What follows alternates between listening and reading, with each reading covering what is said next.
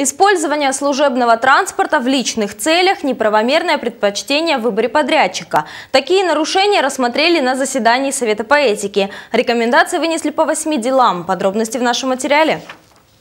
Обучение бесплатное, питание качественное. В идеале в казахстанских школах все должно быть именно так. Однако нередко в сфере образования допускают нарушения. В борьбе с коррупцией здесь используют разные методы, говорит руководитель профильного отдела Гульмира Каримова. Это и профилактические беседы с сотрудниками, где разъясняют законодательство, и лекции для детей, и родительские собрания. В результате, по словам Каримовой, подобных случаев в городе стало меньше. Один против трех в прошлом году. Но не все так радужно, отмечает председатель Совета по.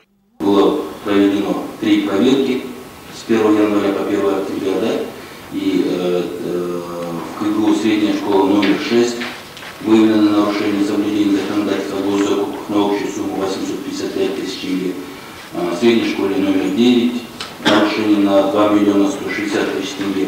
В средней школе номер 42 здесь более 4 миллионов тенге.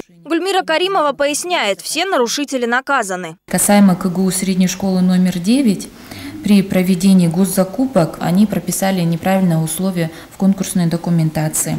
За допущенное нарушение был объявлен выговор менеджеру по государственным закупкам, и за допущенные нарушения о госзакупках была привлечена к административной ответственности директор в виде штрафа на сумму 106 тысяч тенге.